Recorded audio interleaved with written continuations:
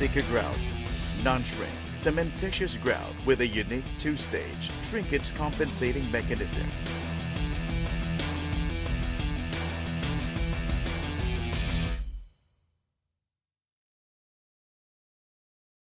Preparation. Prepare tools.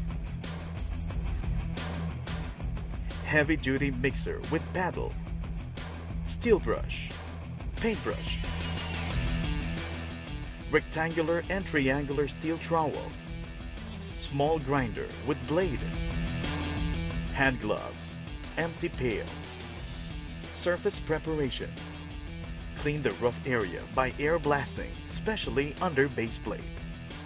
Saturate with water to continuous damp condition the grout application area of the substrate for approximately 24 hours before the grout pouring application. Grout formwork preparation. Fabricate a watertight formwork in accordance to allowable side dimensions made of plywood or steel plate. Assemble and fix tightly the formworks into place, sealing of gap opening in between forms and concrete to prevent grout leak while pouring. Just before pouring, repeat blowing of pressurized air to effect a final cleaning and expel ponding water which may accumulate at the application area. Now ready to receive the mixing and application. Prepare approximately 75% of 3.5 to 4 liters of water into a container for a 25 kilogram bag of Sika Grout 212. Add 25 kilograms bag of Sika Grout 212 gradually into the pre-measured water until desired consistency. Mix mechanically with the low-speed drill with a disc agitator attached until smooth or even consistency is obtained.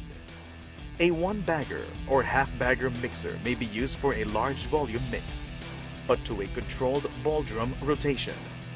Add the remaining 25% of water gradually as necessary and mix well the grout for about 3 minutes.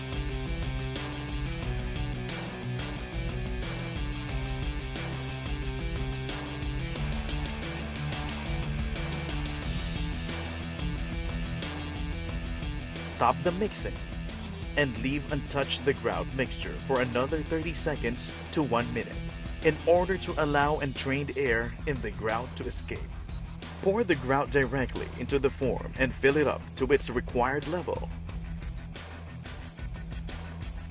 Cover the grout surface and formwork setup with a wet burlap or any plastic sheet to protect the grout surface from drying air and high ambient temperatures.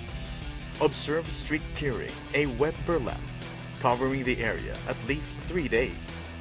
Post-grout application cleanup and next stage preparation. Strip or remove formworks on the fourth day.